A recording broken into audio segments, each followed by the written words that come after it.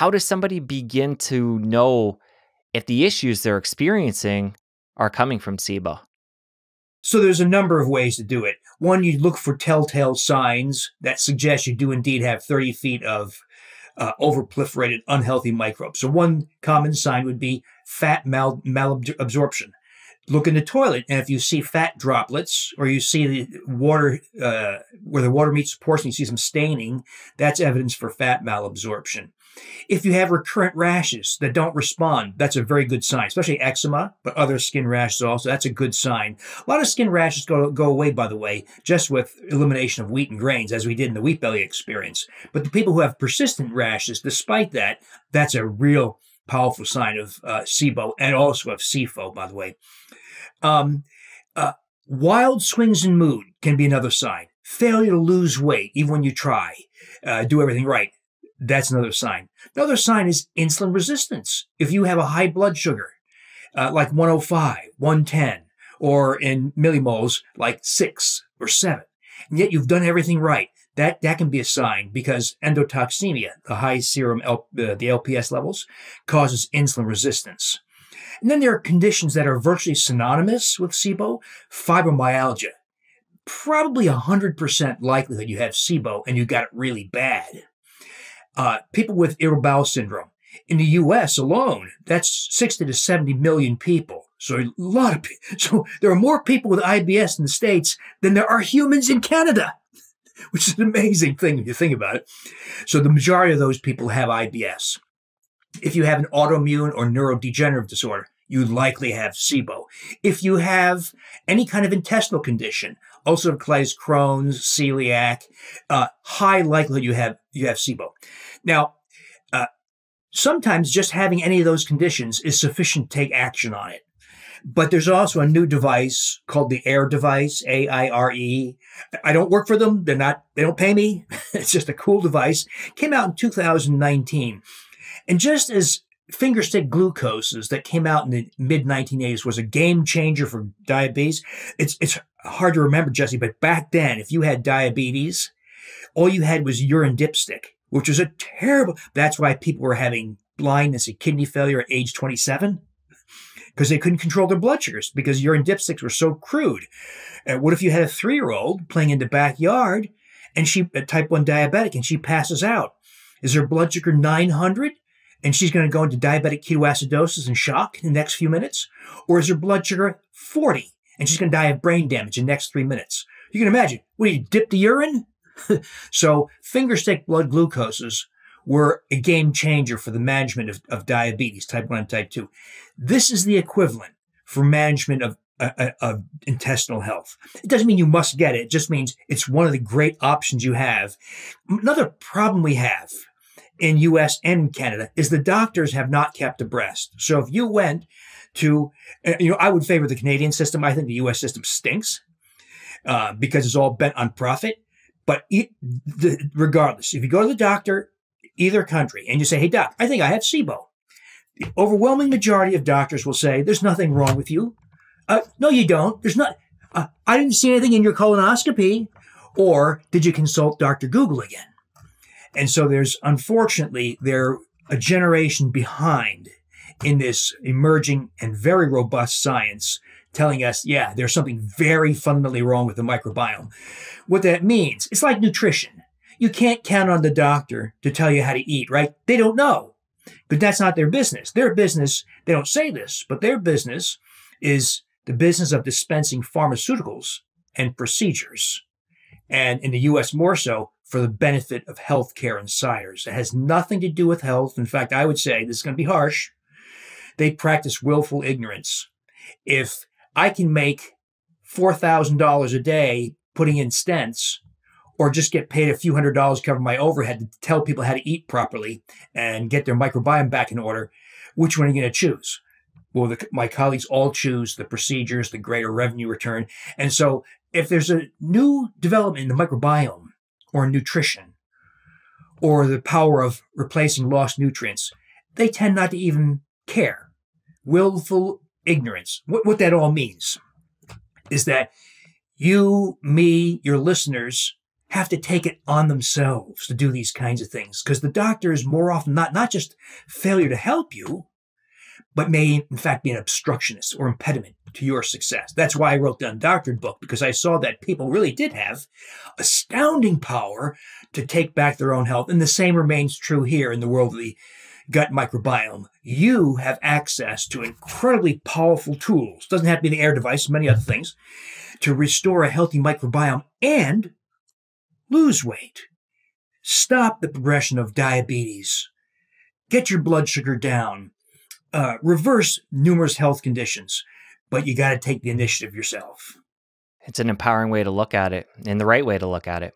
Yeah. And you know, I wrote Undoctored because I realized that people were succeeding in spite of their doctors, not with the assistance or the benign guidance, but in spite of their doctors. And the same remains true here. Let's talk a bit more about conventional ways of handling SIBO. You talked about colonoscopy being what a conventional doc would use to diagnose it. Are there any other tests different doctors might use to see if SIBO is a concern? Well, first of all, of course, most won't even know what it is. They'll say, Jesse, I don't know what you're talking about. Don't waste my time. You're fine, right? Dr. Google, all that business. If they are better informed, there's a small minority who are better informed. Some of the gastroenterologists, for instance, are better informed. What they'll say, sadly, is this. Well, first of all, let's do an endoscopy and colonoscopy, right? Make sure it's not something serious. Oh, good news, Jesse. You don't have stomach ulcer, don't have stomach cancer, don't have colon cancer. Goodbye. You say, well, what about my SIBO question? At the very most, the best informed will write you a prescription for rifaximin, which is the conventional antibiotic it works about 40 to 60% of the time, but typically unaccompanied by any mention of how you got it, how you can prevent recurrences, and recurrences are the rule. So there's not a complete conversation. They just give you a prescription, goodbye. If, uh, but another choice for people is to not take a conventional antibiotic, but take an herbal antibiotic. Now, only two herbal antibiotic regimens have any kind of proof of effectiveness. There's one regimen called candibactin, another one called FC-Cidal with Dysbiocide. Now, I was skeptical these things work because they're concocted in a haphazard way. But then there was a study that came out from Johns Hopkins that compared those two regimens to uh, rifaximin, and lo and behold, the two herbal antibiotic regimens uh, were superior to rifaximin. And the rifaximin failures, of which there are many, the herbal antibiotics were effective. So there was a time when we were using herbal antibiotics also with, with pretty good results. Uh, that is, relief of the symptoms like diarrhea, bloating, irritable bowel syndrome symptoms, uh, rash going away, or normalizing breath hydrogen gas on the AIRE device. Um, but more recently, we've been doing something different. Oh, I should mention another way that doctors can prove that you have a SIBO is to do H2 breath testing, but in a laboratory. It's clunky.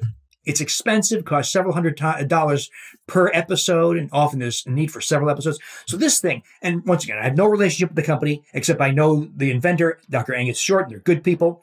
It's about $200 US. You get these discount codes, but you only buy it once.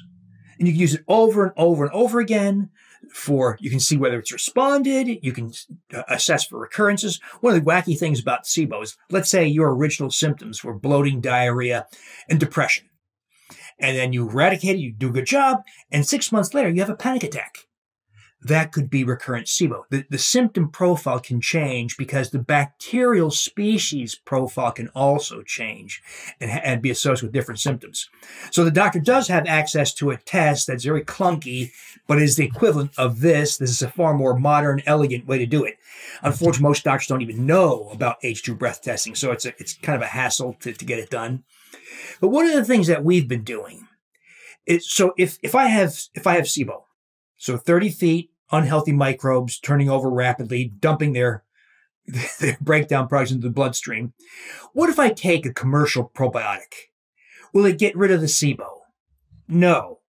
It might reduce bloating, might cut back on diarrhea a little bit, but it's not getting rid of the SIBO. And it shouldn't be a surprise because commercial probiotics are concocted in a very haphazard way. They're not created for SIBO specifically. In other words, they take one microbe, another, just throw them together, call it a commercial probiotic. So I asked a different set of questions. I asked, what if we chose microbes with characteristics that would make them more likely to have an effect on SIBO. Let's choose, for instance, microbes that colonize the upper GI tract, where SIBO occurs. Let's choose microbes that produce what are called bacteriocins. These are natural antibiotics produced by some species, effective against a species of SIBO. So I chose three. I chose strain of Lactobacillus gasseri. I chose my favorite microbe in the world, Lactobacillus reuteri, and uh, a strain of Bacillus coagulans. They colonize upper GI tract, produce bacteriocins. The gasseri in particular can produce as many as seven bacteriocins, so it's a bacteriocin powerhouse. Even the reuteri, many strains produce up to four bacteriocins. We co-ferment them as a yogurt, and I should mention it's not it's not the kind of yogurt you get in the store. You cannot buy these things as yogurt. We call it yogurt because it looks and smells like yogurt, but it's not yogurt. But we ferment it for an extended period because we want really big counts of bacteria. When you use extended fermentation, unlike commercial fermentation, you get hundreds of billions of counts. We, we examined our yogurts with something called flow cytometry, and we're getting around 250, 260 billion bacteria per half cup serving. So we co-ferment these three species. It makes a delicious yogurt, by the way. And then you consume the yogurt, half a cup per day for four weeks. And so far, it's preliminary, Jesse, but so far, of the 30 or so people who've done this, 90% have normalized their breath hydrogen gas. So I think it's it's a valid and effective way of doing it. We will look at that more formally down the road in one of our clinical trials. Uh, but I th- but you know, if I said you needed a frontal lobotomy to do this, or we're going to remove your colon, you better be damn certain you got you need to have that done. We're talking about making yogurt. So it's such a benign thing. I think that the, the, the barrier to doing this is, is very low. Oh, this is definitely really exciting. And I'm curious, when you're working with somebody with SIBO and you're having them make this yogurt, we're going to get into all the details because there's a lot here to break down. But are they still using the herbs that you mentioned before, that product Candibactin? Is that part of the protocol or has this yogurt omitted that step? Yeah, so these are people, Jesse, who are accomplishing normalization, reversal of SIBO without any antibiotic, no prescription, no herbal antibiotic, just with the yogurt. You know, I've got a, a few microbiologist friends. And one of the friends I was talking to, his name is Suresh. He runs one of the nation's largest probiotic manufacturers called Biosource. It's actually 35 minutes from my house, amazingly. and he tells me that when they clean their vats, their fermentation vats, they'll sometimes use Lactobacillus reuteri. It's so effective in killing off pathogenic microbes, they actually use it to clean their vats. I, I corroborated this with another microbiologist. He said, oh yeah, we use reuteri to clean the vats. So that's how potent some of these microbes can be. So you can see, if you just slap dash together a bunch of microbes and call it a probiotic, well, no wonder they don't really do that much. They do have some benefit, but those much more carefully chosen. And maybe maybe in time we find even better microbes. Right now, this mix seems to be getting the job done in the majority of people. And to take this even more granular, you mentioned the three different species. There's also strains we got to look at too. I want you to break this down because a lot of probiotics on the market today, they will list off the different species that are in the product, but that's only half the equation. There's also the strain. So, talk more about that. Excellent point, Jesse. Exactly right. So, unfortunately, so strain really does matter. The, the, best example I have is you've got E. coli. Your li- listeners have E. coli. I have E. coli in our in our colons. Well, what if you ate lettuce contaminated by cow manure with E. coli? Well, you can die of that E. coli. You can go into kidney failure and sepsis. So, same species, E. coli, different strain. So, strain can actually make a life death difference. Not always, but in some instances. So you got to pay attention to strain in many situations. Well, as you point out, a lot of commercial probiotics don't even tell you the strain, or they assign a proprietary designation. They just made it up. ABC123. You, you look up the science, well, you can't tell what it is. This is a big problem. It's causing a lot of confusion in the industry, and I don't know what the final answer will be. But in general, we want to pay attention to the to the strain. So one of my favorite strains, uh, bacteria species and strains, is Lactobacillus reuteri. So that strain, that bacterial species, has been lost by the great majority of Americans and Canadians. Probably 96% of us have lost reuteri, even though indigenous populations and other mammals, like your dog and the chipmunk outside your window and the squirrel, they all have reuteri, but we've lost it because of antibiotics, herbicides, pesticides, etc. Well, when we replace it, the evidence is all about the strains called DSM 17938. So I'm so, sorry, I don't make these strain designations up. But when you replace that specific strain, wonderful things happen. One of the things it does is reuteri colonize the, the GI tract and sends a signal through the vagus nerve to the brain to release oxytocin. So lots of people know that oxytocin, is the hormone of love and empathy. So people will say, I like my family better. They don't irritate me as much. I like my coworkers better. They, they make me, they don't make me as angry as before. I introduce myself to strangers in line for coffee at Starbucks. I desire more connection with other humans. I understand other people's points of view better. That's the oxytocin.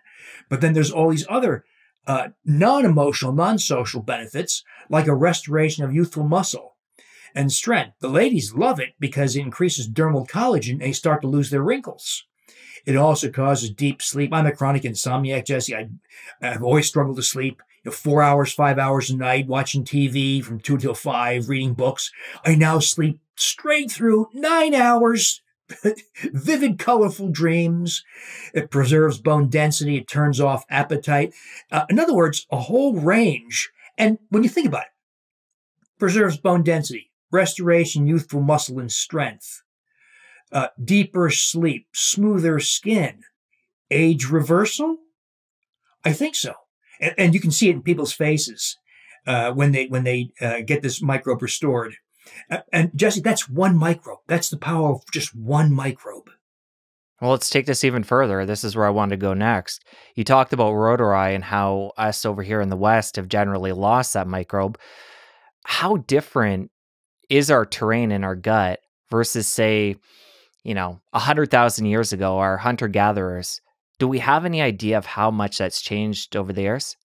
You know, the best evidence comes from the examination of the microbiomes of indigenous populations, whether it's not so much the Canadian Inuit because they've been changed right by westernization now, but some isolated populations like the Malawi in Eastern Africa or the Maasai in Kenya or the um, uh, Hadza in Tanzania or the Yanomami in the Brazilian rainforest, or the Matses in the highlands of Peru. These have all had their microbiomes characterized, and they have completely different microbiomes. They have species we don't have.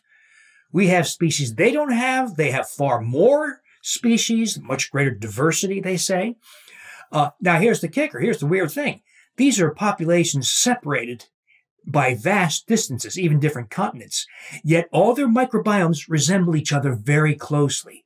So that's presumed to mean that this is the Stone Age microbiome that we had 100,000 years ago, but we have changed. Now, it doesn't mean all those changes are necessarily bad. Maybe some of our changes are adaptations to modern life, but it does open the question, should we restore our microbiome to what they have?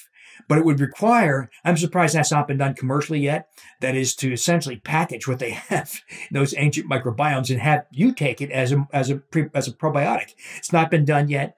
Uh, I think we're worked t- toward that direction, but uh, the differences are so stark that it's it's it'd be a long journey to do that. But it does open some very very interesting speculation. Well, on a personal level, would you say that is our end goal? What we should be aiming for, or somebody who's you know looked at the research and is so involved in this i'm curious on on your thoughts. You know i don't know because you know if you're a member of the hadza tribe and you're in the savannah of uh, tanzania you'll be doing things that modern people don't want to do. You'll kill an animal and in the field you'll tear open its abdomen and you'll eat its intestine maybe its stomach and pieces of the liver raw well, in other words, that's the best probiotic there is, right? so, but I don't think I'm going to do that. You're likely not going to do that. So there are many practices that they engage in, meaning they've they have a microbiome that's fashioned, that's molded by their lifestyles that we probably don't want to do, and then we have also maybe there's some changes in the modern world that are adaptive and not so bad. One of the crazy things, very interesting observation, is we have an abundance of bifidobacteria.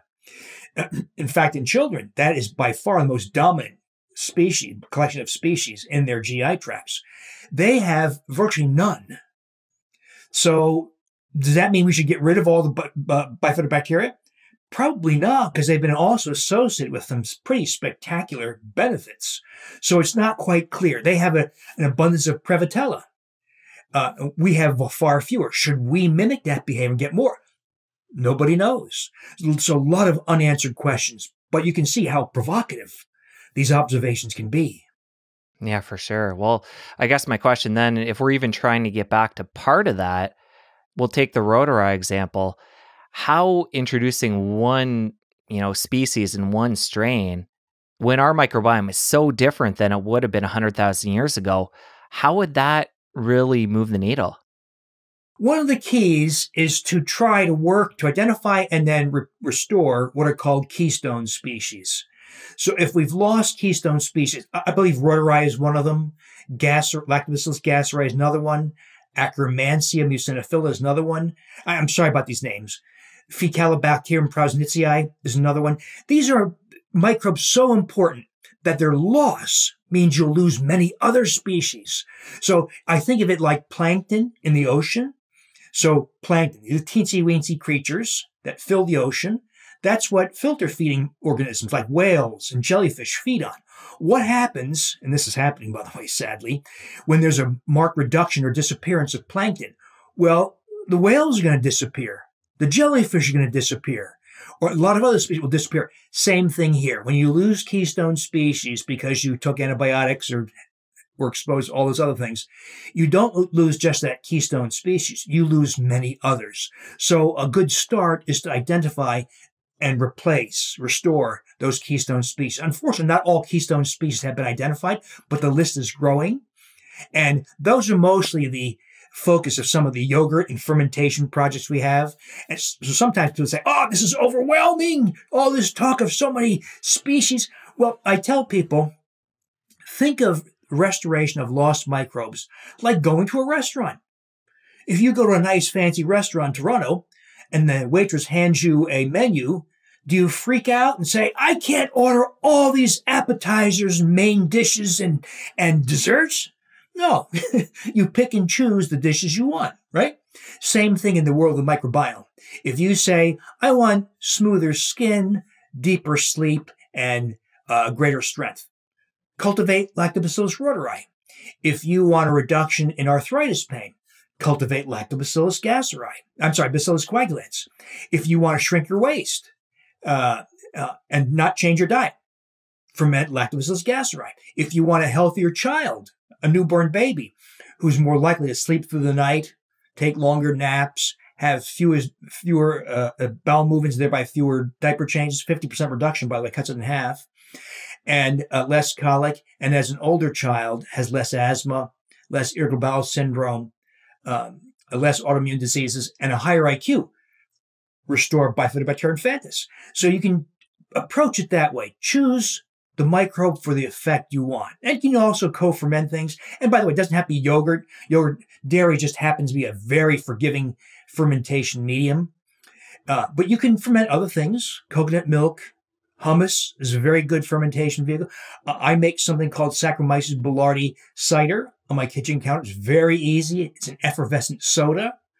Uh, and the fermentation uh, reduces most of the sugar and it's delicious. And that's a tremendous probiotic.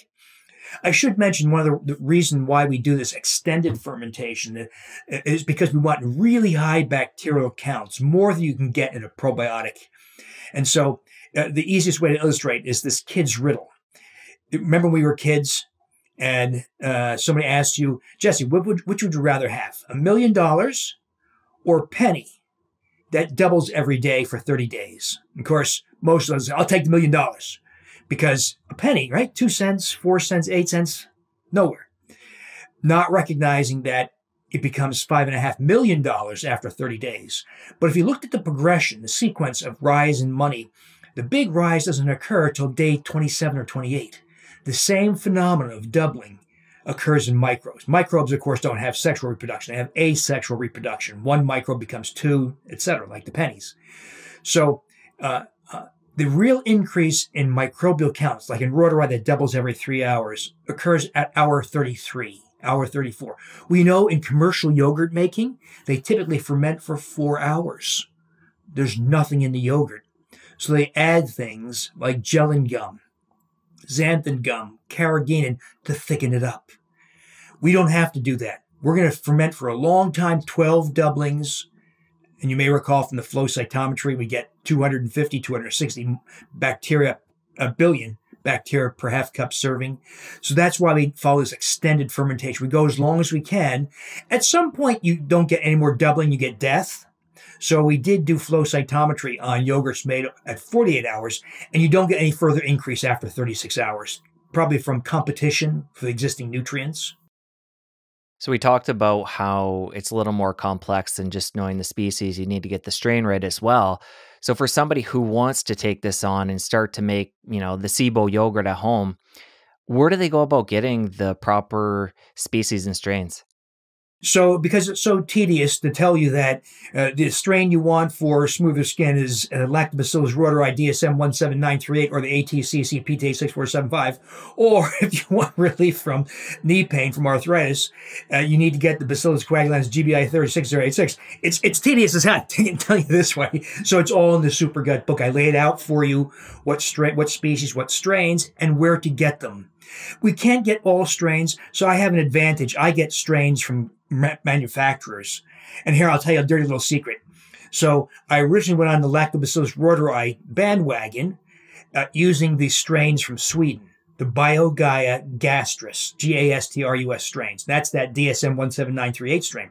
Because the MIT group that did a lot of elegant work with that microbe showed us that strain does all these things. Acceleration of healing, restoration, youthful muscle, all, the, all those effects, the social effects.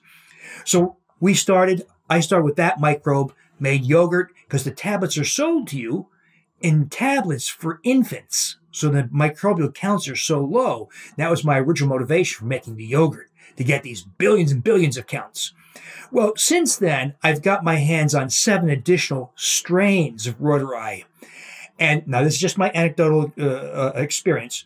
So far, every single one has done the same thing. In fact, I think I have a strain that's even more powerful uh, but I can't share with you because I got it from a manufacturer. They give it to me in bulk, and it's not meant for dispensing or for for sale. It will make it to the market eventually. I'll make sure of that in some form. Um, but uh, I think many strains of Reuteri do this and may even do it better than the original strain. But that's that's still to come. Well, like you mentioned, people have got to get the book to get all the details. It's very nuanced. But for somebody who does get the book and they find out exactly what they're looking for, somebody who isn't in your position and can, you know, connect with the manufacturer, are they able to order these on like Amazon and have it delivered to their door? Or how complex is it? Yeah, so I typically talk about, I, I, told you the secret, but uh, ordinarily I just tell people about the microbes they can get their hands on.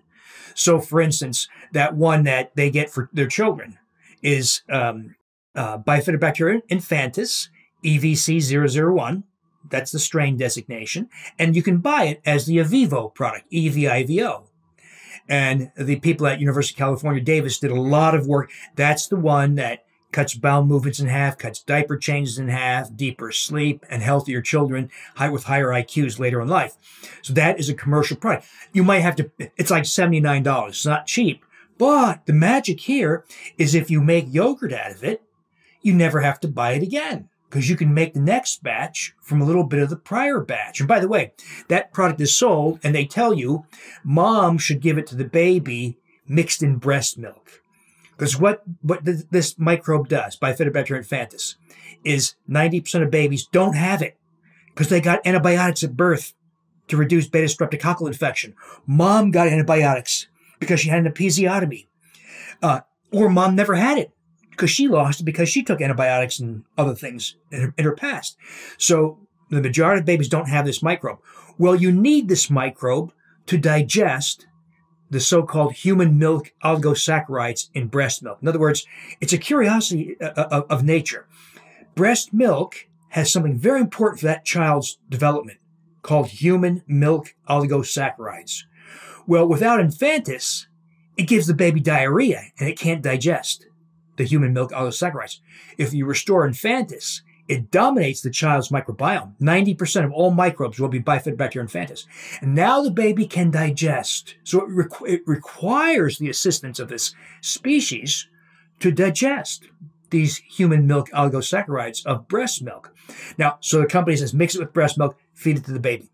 I'll say go one step better. No, no, no, no, no. How about mom gets it while she's pregnant or even before pregnancy?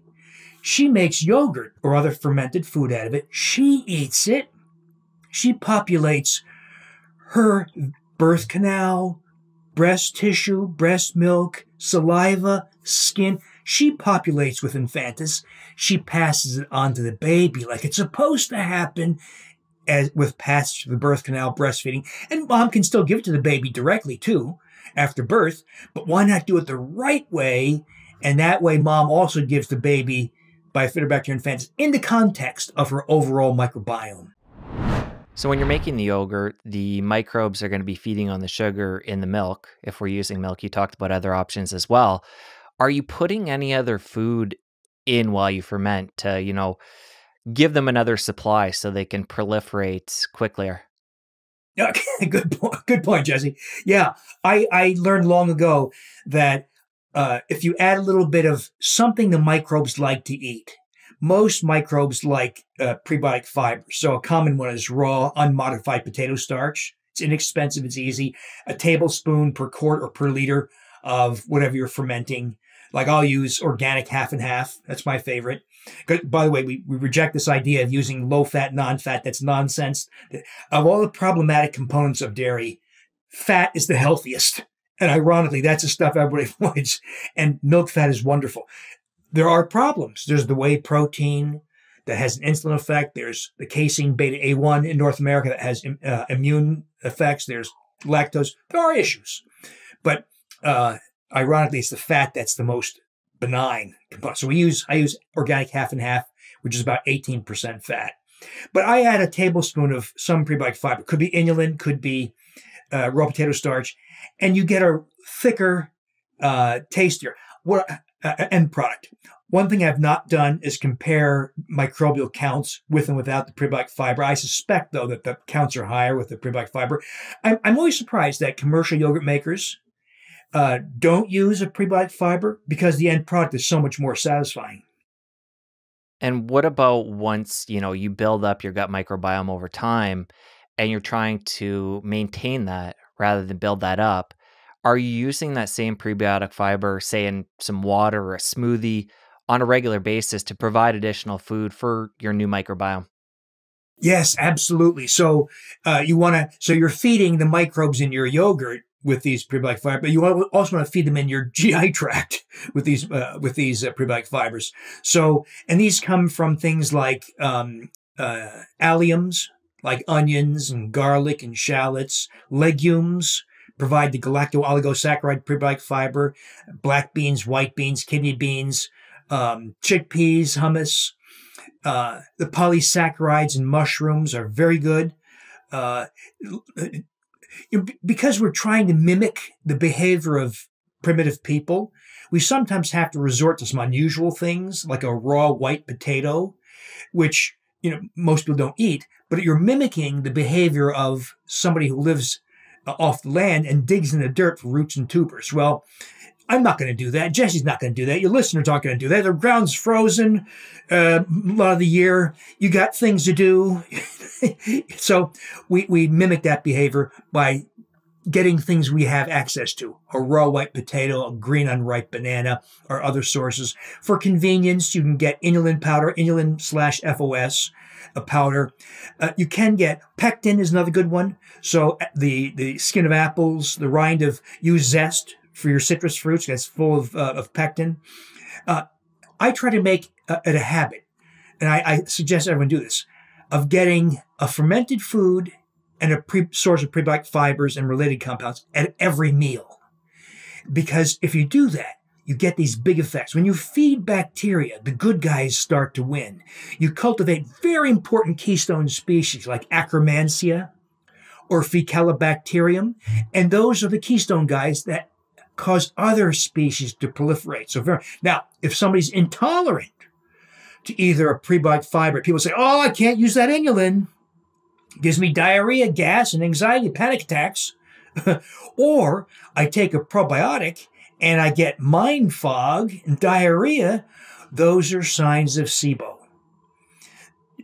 And by the way, also, Jesse, it's important for listeners to know if people say things like, oh no, I can't eat nightshades, like eggplant or tomatoes. I can't eat FODMAPs. I can't eat anything with fructose like fruit. I can't eat legumes. Oh no, I get bloating gas there. That the, the problem is not the food. The problem is you have SIBO. And you will register positive should you confirm with an AIRE device. You'll get a high level on your on your on your AIRE device. So the, the problem is not the FODMAPs or the nightshade. The problem is your microbiome. So I hear a lot of people say this. So I avoid tomatoes and, and eggplant and I feel okay. Well, the problem with that is if you have SIBO that's unaddressed, you're going to have other problems down the road. And it could be serious stuff. It could be a neurodegenerative disorder like Parkinson's disease or Lou Gehrig's disease or dementia or an autoimmune disease like Hashimoto's thyroiditis or lupus. Or it could be an intestinal disease like ulcerative colitis or diverticular disease or colon cancer. So it's not a good idea to say, oh, I, I avoid those foods, I'm fine. No, you're not fine. You feel better, but you haven't addressed the cause of the food intolerance. But what I'm guessing you would say is early on in the game, when somebody is, you know, they haven't dealt with their SIBO yet, they should avoid those foods and probably avoid all prebiotic fiber, you know, overt sources, because they haven't cleared out the bad bacteria yet. They don't want to just put food in for those guys as well. I would assume they want to clear those guys out and then put the food in for the good guys. Exactly. That's right. So if you get explosive diarrhea, for instance, or panic attacks every time you consume a prebiotic fiber or some other food you're intolerant to, exactly right. Remove that food, take all the steps, you know, remove all other disruptive factors. It could involve a high potency multi-species probiotic, fermented foods, etc. And then several days or weeks in, resume the prebiotic fibers because you know, this, this is the mistake, by the way, a lot of people on a ketogenic diet or carnivorous diets make. They don't mind their intake of prebiotic fibers and related things that nourish microbes. What happens when you do that? Let's say you're ketogenic and all you're eating is, is fatty meats and green vegetables, etc., but no prebiotic fibers. Well, you're starving microbes, so their populations drop dramatically. Some species actually disappear, but there's ones that actually several species, but the primary one is Akkermansia. Akkermansia's full name is Akkermansia muciniphila, mucus lover. And so other species die off or diminished. Akkermansia can turn to human mucus for nutrition and starts to consume your mucus barrier. And that's a very bad thing because it causes intestinal inflammation, colitis, endotoxemia, bacterial breakdown products, getting into the bloodstream and leads long term to insulin resistance, type 2 diabetes, fatty liver, uh, high triglycerides, um, uh, even diverticular disease and colon cancer. So you don't want to make mistake of starving your microbes because Akkermansia is a good guy. It supports the mucus barrier. It's, it's keystone unless you deprive it of the, those prebiotic fibers and then it, it shows its other face and starts to eat you. And when it comes to somebody, say they're just on a low carb diet, they're not totally omitting all the food for their microbiome, how do they know when they've reached an amount of prebiotic fiber that's going to feed the microbiome that's enough for them? Is it just subjective and you got to play with it or is it is there a certain rule of thumb or you recommend using supplements, the powder? Just curious on how you'd go about that for somebody who is say low carb you know, it helps at first to be mindful of how much, how many prebiotic fiber grams there are in various foods. In other words, if you take a teaspoon of inulin for convenience, put it in your coffee, there's about four grams in there. If you have a raw white potato, uh, let's say half of a raw white potato that you chopped finely into your salad, you're getting something like 10 or 11 grams. So it helps be mindful. Maximal effect appears to occur at 20 grams per day. Now, all those indigenous populations we talked about, many of them get over 100 grams per day, but it's never been shown that that we should do that for benefit. But it may be the reason, by the way, they have an abundance of species like Prevotella because they have such a higher fiber intake, prebiotic fiber intake. But it's never been shown that if you or I or your listeners upped our prebiotic fiber intake to, let's say, 100 grams per day, that we gain some incremental benefit. I will tell you, anecdotally, I've had people say, you know, I just, just for laughs, I upped my prebiotic fiber intake to 100 grams per day, and I got much, I felt much stronger and healthier and more energetic. Maybe. Have you ever tried it yourself? I have not, but I've gotten up to maybe 40, 50, 60, and I can't say I perceive an effect. Let's come back to the raw potato. This isn't something I've ever tried to include in my diet. You gave an example there because I want more examples for myself and for the listeners how we can go about incorporating that into food. So we can chop it up fine, put it in a salad. I'm assuming putting it into a smoothie would be another way to get that in without, you know, having to endure chewing a raw potato. Right. Yeah. You can just chop it coarsely. You do need a fairly strong blender and toss it in, toss whatever else you want, maybe coconut milk, an avocado, a couple of, a few berries, whatever you like. And yeah, it makes a very nice smoothie or, or shake. Uh, likewise, the green unripe banana, but it must be green and unripe. It can't be yellow. It can't be kind of green. It's got to be green, uh, or else you get a big wallop of, of sugar if you if it, if it's uh, tending towards ripe. Adding inulin powder is an easy way. You can get galacto oligosaccharide powders, but they're kind of pricey. You can get various mixes nowadays of, of a mixture of prebiotic fibers. I think they're kind of pricey. So I think the best way is just to get foods. Eat more asparagus, eat more legumes, uh, make it a habit of getting garlic and onions and uh, cloves, um, leeks, dandelion greens. There's lots of, you know, if you, if you, if you're mindful of what foods these, it means, and you keep your refrigerator and cupboard stocked with these things, it becomes easy to make sure it's an inclusion. You can include it in every meal. And I know the research is young, and using your yogurt to treat SIBO is something, you know, you're just you know the big scheme of things just delving into and you want to do a lot more research but what was the number you gave earlier was it 90% of people using your yogurt were able to treat and eliminate their sibo yeah of a small number about 30 people but they've so not just symptom improvement but normalization of hydrogen gas and not so i don't want people to get the impression you must buy one of these things to manage your SIBO. you don't have to it does help in other words if you blow a positive value and then you do X, whether it's SIBO yogurt or Candibactin ARBR or whatever you do, and then you test some weeks later and you're negative. Oh, you know your the, the choice you made worked, or it didn't work, or if you have a recurrence. So it is helpful to have, but you don't have to buy this thing. You, people can do this empirically. That is based on their best judgment. I have a lot of people do that also and still have spectacular results. And for people who do make a big dietary shift and start incorporating this yogurt on a regular basis, how common is recurrence? Is this something that most of us are going to face, you know, ebb and flow over the years? Yeah, recurrences are very common. Now, now, no one has the formula for preventing recurrence, but I'll tell you what I think works. I think the Lactobacillus reuteri works. You may recall, so the reuteri is not just a source of oxytocin, and smoother skin and deeper sleep and maybe love dreams, but it may, but it also colonizes the upper GI tract and produces bacteriocins. So we're, we, we're, we're thinking about, right, colonizing and protecting the small intestine. And so Reuteri, I think, has helped a bunch of people because we're not seeing very many recurrences in people who take the Reuteri, even though in other areas, other uh, uh, programs, etc. There's recurrences all the time. The Lactobacillus gasseri may also be an important species to include to prevent recurrences. And of course, continuing all those other things. Don't get emulsifying agents in your foods. Avoid herbicide, pesticide residues and choose organic foods. Filter your drinking water. Minimize antibiotics. All those things still matter also because if you go back to those things, it invites um, your SIBO back. Now, there are some people who, no matter what they do, continue to have recurrences. It helps to have some kind of formal assessment if you can find a functional medicine doc.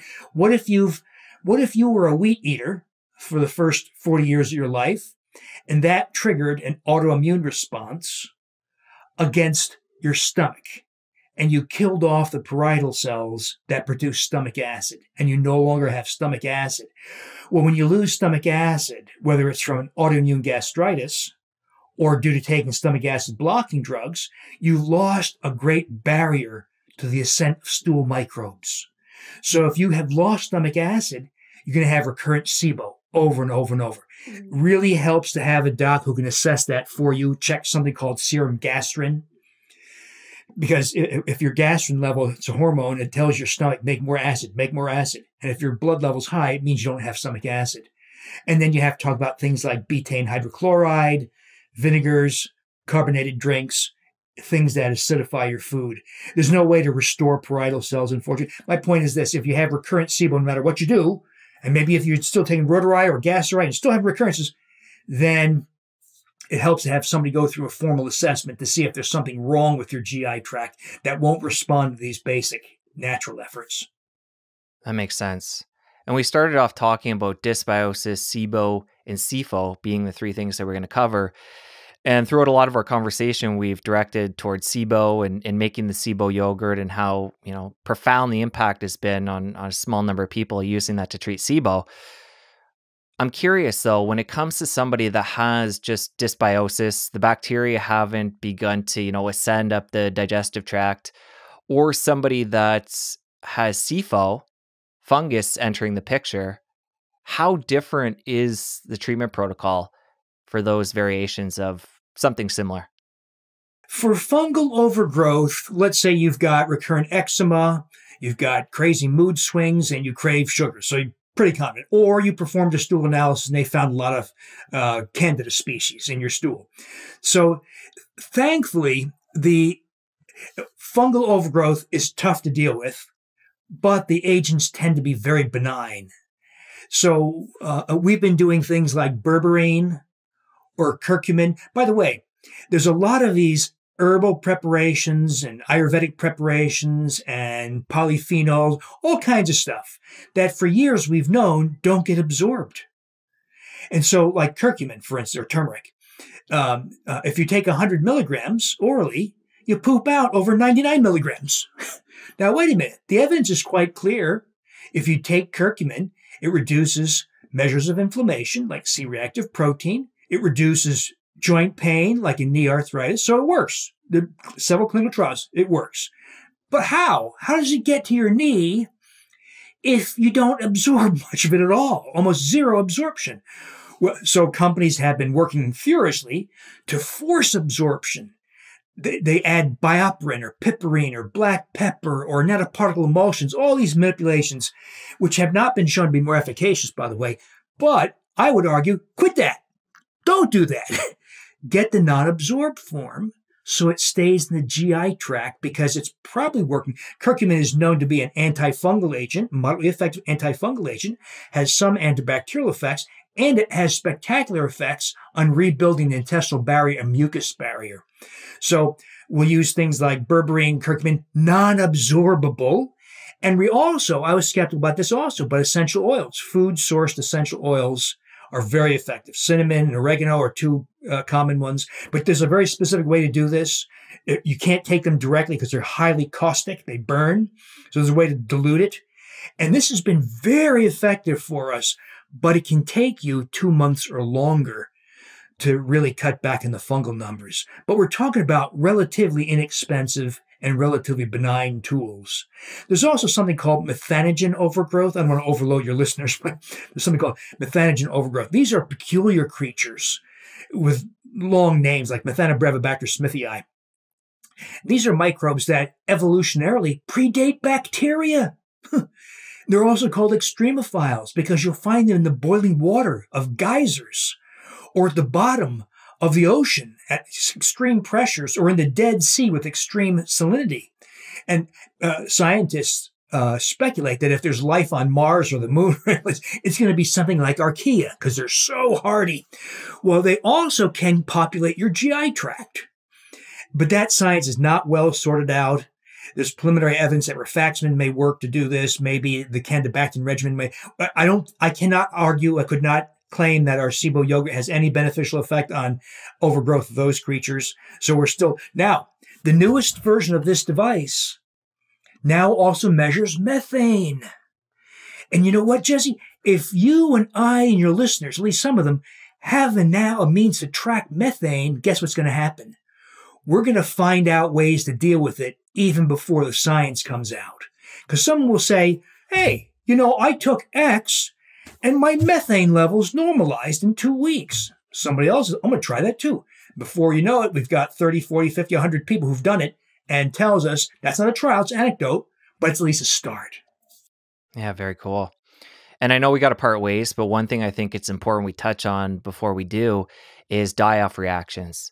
So oh, people oh, yes. that are going to get in there and start mucking around and whether it be conventional antibiotics or some of the different natural ways we mentioned, including the SIBO yogurt, you get in there and you start killing these microbes and you're, you know, there's a good chance you're going to notice some negative response and negative feelings before you start to feel better. So talk about that a little bit and talk about the difference of die off reactions from conventional ways of treating versus, say, using your yogurt? So this effect's been known for about a century, ever since they first started treating syphilis of all things.